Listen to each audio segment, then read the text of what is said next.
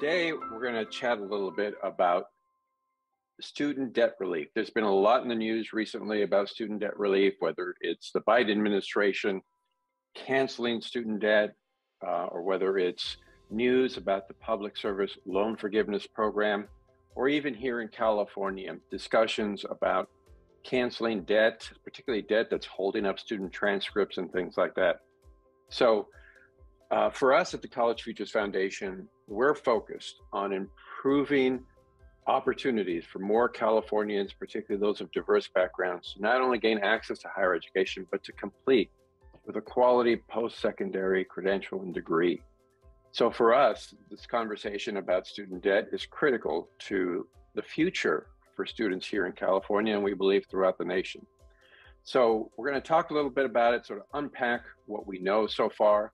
And I'm going to ask Ria to talk about her work, particularly around affordability because these two things are tied together. Student debt and affordability have to be tied together. And then I'm going to close out talking a little bit about the responsibility of institutions when it comes to student debt. So, Ria, let's jump right into it. Uh, so, that's good. Um, there's been a lot of talk about um, uh, student loans, student debt, tell us a little bit about what you're seeing and um, uh, what are some of the things going on both at the federal level and the state level? Yeah so thank you eloy and i think uh, student debt is something that has been getting a lot of attention in recent months but if we take a step back we know it's an issue that's been around for decades and of course a very important issue for those of us who are focused on higher ed. Uh, you know the the cost of college has increased significantly over the last 30 years. We know that. We know that the main grants that students receive from the federal government, the state government, the Pell Grant, the Cal Grant have not been able to keep pace with those costs. And on top of that, especially in California, we have a really high cost of living that keeps going up, and that impacts, like you said, college affordability and even more. So more students have had to take more loans out to be able to afford college. And uh, you know to the tune of 1.6 trillion dollars is a number that keeps getting thrown around which to me is a number that's really really hard to fathom.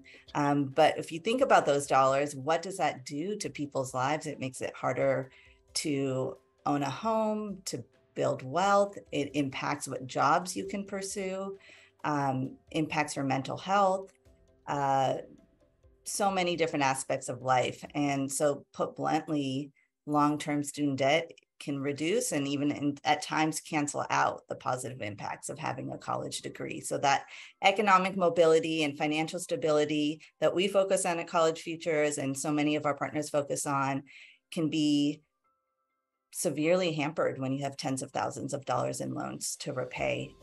Um, so, right it's an issue that we've been focusing on of late and rightly so.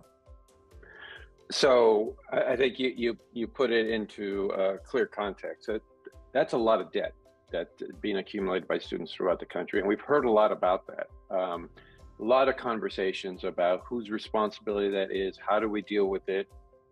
But at the end of the day this is affecting students both uh, you know throughout the country not just here in california um, I think states like California, we've done a fairly good job of holding down the cost of education, but it's still getting out of control because the cost of education isn't just about tuition. It's about housing, which is crazy here in California. It's about transportation. It's about taking time off from work to attend school and, and the time it takes to get your degree. So let's talk a little bit about, you know, what, what some of the levers uh, that people are trying to to play with to deal with some of these issues. So at the federal level, we've heard a lot about what's going on in the Biden administration. We've heard about debt cancellation, um, and we've also heard about the uh, public service loan forgiveness program. So let's let's start with what we call PSLF, uh, or actually, actually PS, uh, yes, PSLF. Sorry, uh, public student loan forgiveness. So many acronyms in higher ed, I lose track of them. So tell us about that program, Ria. Who does it affect? What's the timetable, and why should we care? Yes. So PSLF, Public Service Loan Forgiveness, it's um, the acronyms can drive you crazy for sure. Um, this is a big deal. And we are actually in the last weeks of this big opportunity the federal government has been able to give around uh, this particular aspect of student debt. So through the end of this month, um, if you work um, at a public uh, employer or a nonprofit employer, there are opportunities to have federal student loans fully forgiven. Um, if you are a borrower who meets certain qualifications, like having, you know, paying down your loan for at least 10 years and a few more things. And that's a huge deal um, because this opportunity is time limited. It's really, at least for what we know right now, from last October through this October. So that opportunity closes um, on Halloween of this year if you um, are working at a public college, if you're at a, you know, working at a school, a 501c3, a foundation like ours, there is an opportunity um, to have actually your full loan debt uh, forgiven, relieved. Um, so it's not capped and it's not capped at an income level as well. So um, it's a huge opportunity. We're really excited to be working with many of our um, amazing and hardworking grantee mm-hmm. partners who are working on this issue. Um, we uh, have a partnership with a Next Gen Policy and their partners at the Campaign for California Borrowers' Rights to help as many Californians benefit from PSLF as possible. Um, and we were uh, actually one of their first partners as a philanthropic foundation to sign up for the employer challenge that they're leading to really encourage employers to educate their employees on, on how to be able to get their loans forgiven through this program and spreading the word to our peers as well. Uh, well, that sounds like a remarkable opportunity, particularly for individuals who are working as teachers, who are working in public service, whatever that may be, in um, um, public colleges and universities.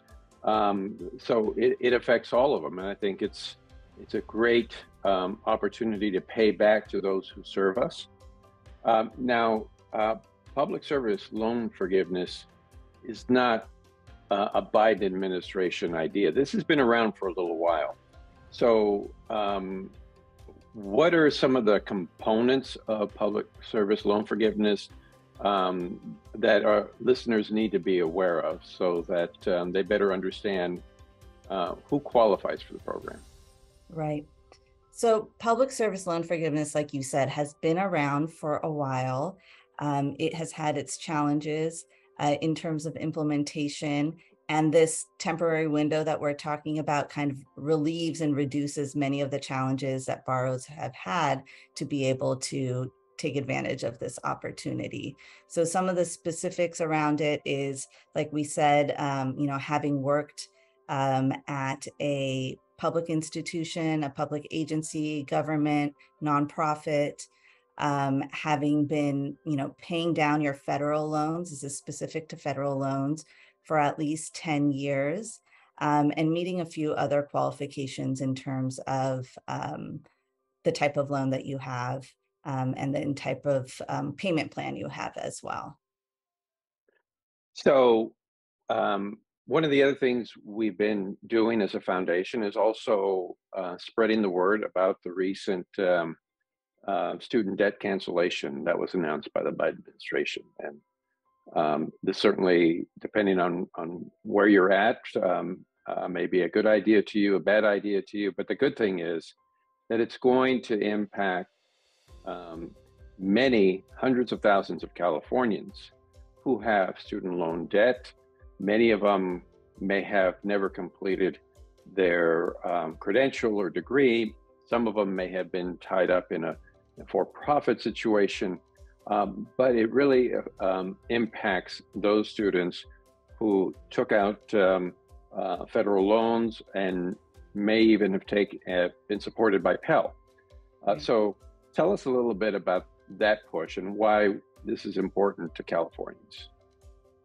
Right. Uh, so this is hugely important to Californians, particularly during the pandemic. So many students, former students, borrowers have um, you know, been able to benefit from a pause in payments on their loans.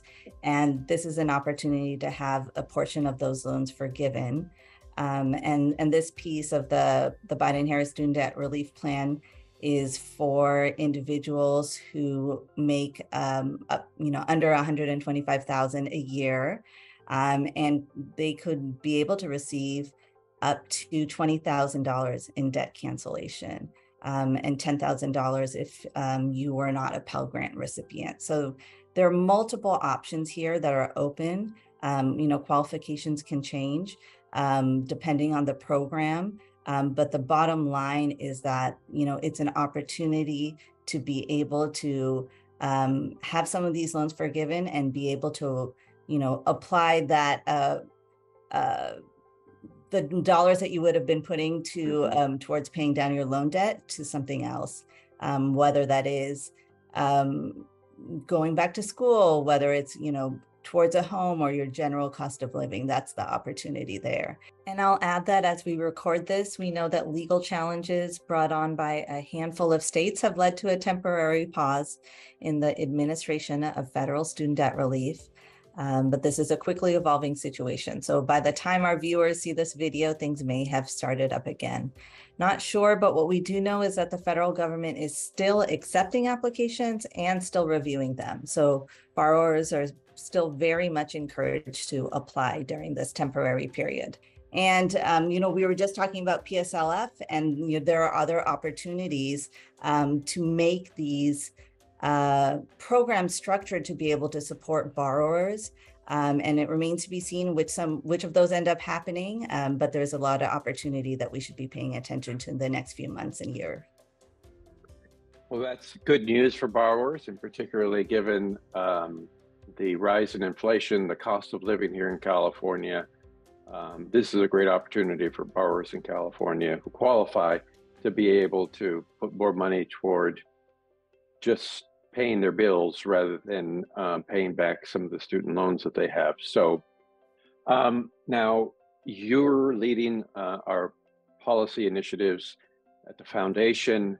Uh, our foundation works and supports many grantees, uh, institutions, organizations that help spread the word about college affordability and about these issues surrounding uh, uh, student loan debt and debt relief. So Tell us a little bit about uh, the efforts that you're engaged in with um, your grantees, the, the research that you're seeing, and some of the efforts that we're funding as a foundation uh, to shine a light on this issue of affordability.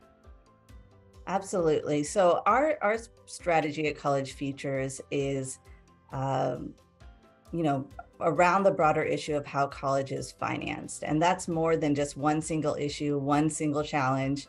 Um, you know, we think about how higher ed institutions are financed. We think about tuition policies and how that impacts students and potential students. And then we also think a lot about the financial supports that students receive to pay for college. That's, you know, the grants that you don't need to pay back, as well as the loans, which is how we started this conversation, which often you do.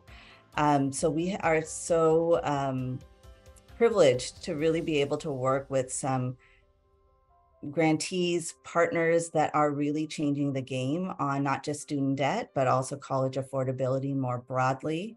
Um, you know, we're lucky to be longtime partners with several partners who are focused on advocacy and data to be able to lift up what broader college affordability reform looks like. Um, you know, partners like TICAS, the Institute for College Access and Success, that has been working on this issue for many years. Um, you know, we we are, have the opportunity to work with organizations like Rise and Young Invincibles, who are doing the important work of mobilizing young people on the ground to make sure they're aware of and can benefit from loan relief. We um, uh, have the opportunity to work with researchers who are really looking into the data around not what exists only around policy inter- interventions, but also around um, how higher ed can be better financed to avoid these problems for the future. So partners like the Public Policy Institute of California, the UC Merced, HERE Lab, and it really takes a village to make a dent um, on these entrenched systemic issues. Um, so it's it's uh, an amazing opportunity to be able to work with such a great group of partners. That is um, an amazing group of partners, and we are very appreciative to the work that they do out in the field uh, and throughout the country. Um, and by the way, I'm just incredibly impressed um, and in awe of young people today. The student organizations, you mentioned some of them. I mean, a lot of the change that we're seeing today, particularly in higher education, is because of the student voice. Um, so um, I'm just so proud that we're able to support organizations like that because that is truly who is going to change the face of higher education. Um, us old people, um, you know, have had our day, but it's these young people, the students, who are finally organizing, and um, I'm just so proud of them. So, right.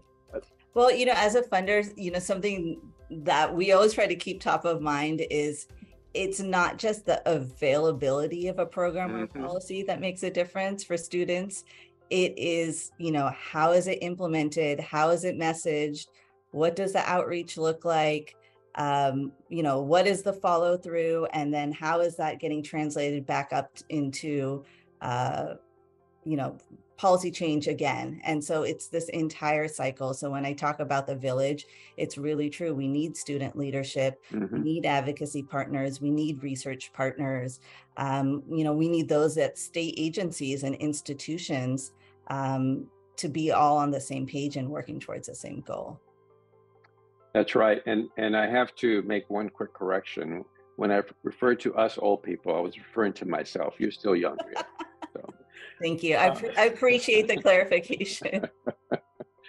so let's let's um, let's talk about um, you know what this movement look like looks like going forward. And mm-hmm. certainly from my point of view, um, there's one piece of this puzzle that we haven't talked a lot about that um, we're only just beginning to talk about the federal level and to some extent at the state level, and that is the institutions themselves colleges, universities, who um, are a part of this challenge, and in some cases, the problem, because of the cost of education. And I believe, and I know that there's a, a growing number of people across the country who also believe, that institutions have to step up and have more accountability over student debt accumulation. I mean, we see this happening in the news. We see programs, um, college uh, experiences you know, surpassing fifty, sixty thousand dollars a year, and that's a lot of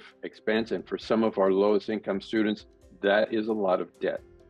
So um, we're calling on institutions in California and throughout the country to step up and asking policymakers in California and at the federal level to think about how we create an accountability framework to make sure that institutions are part of the solution as well.